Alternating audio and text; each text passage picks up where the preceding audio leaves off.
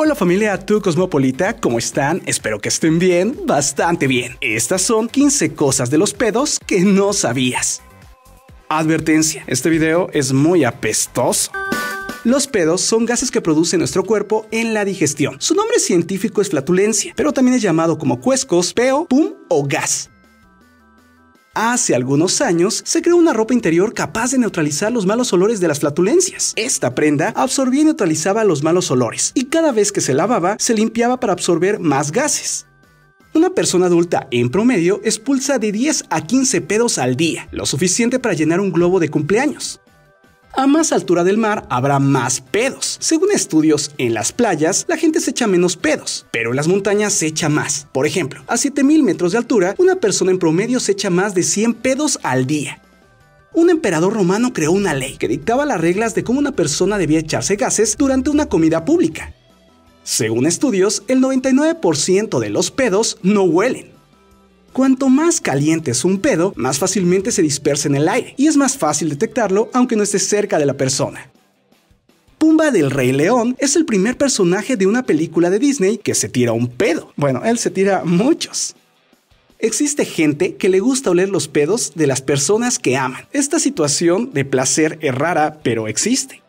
Un estudio de 1969 señaló que los pedos de los astronautas podían generar una explosión dentro de un cohete espacial. Sin embargo, hasta este momento no se ha registrado ningún accidente por esta causa.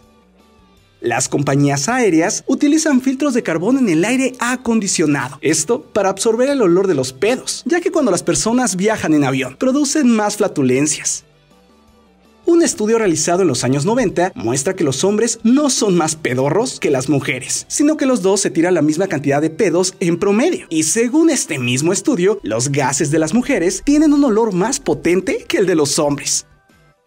Si tú eres una persona que tiene muchos gases, los especialistas recomiendan beber mucha más agua y masticar más despacio la comida, y así tendrás menos pedos.